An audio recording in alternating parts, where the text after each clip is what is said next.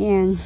Ayaw kasi ni Sam to, yung mga bata, ayaw ng, ano, ewan ko kung bakit. But, um, I rarely am able to feed etong uh, fruit talaga. It's, I am more of dahon and peels.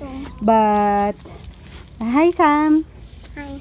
Ah, nakala. Uh, ito meron. So, I wanted to try. I wanted to see if they would, they would like to eat it. Ang dami na natin. Zoom-zoom na talaga tayo dito. We have lizards and cats and hedgehogs and... Uy, hindi pa rin kayo tinatanggal? Yeah. Sam's mini cattery. Yeah. Nako, yun pa rin yung sorhak ni Janu. Gamutin nga natin. Ikaw na lang siguro bigyan ko. Fruit, baby. Ayaw? What's wrong, baby? Actually, kinapa namin to, but... Ayan, o. Ito na eh. It's okay, baby. Don't shout.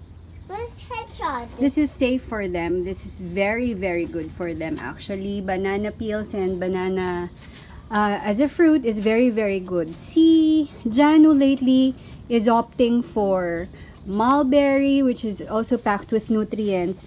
Um, according to Doc Beck, yung ating veterinarian in Pampanga, uh, vitamin, um, rabbits, rabbit needs vitamins talaga, multivitamins.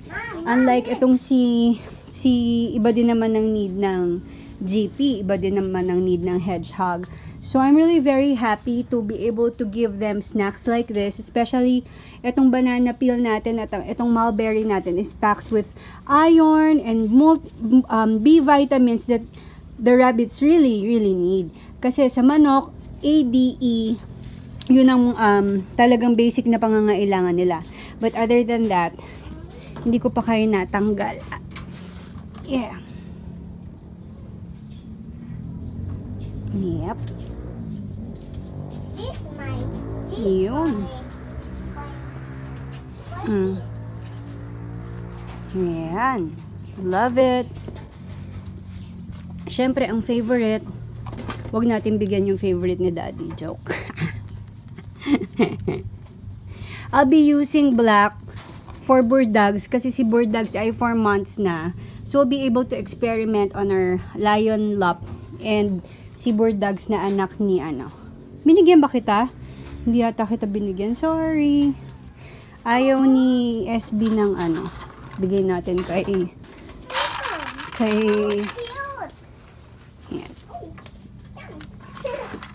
I'm so excited with the fusion of this one kasi maganda ang markings ni Mohawk Girl eh.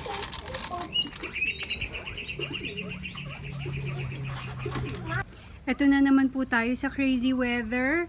Um, paalala lang po to always secure yung ating mga alaga with natural vitamins, oregano, um, malunggay, yan.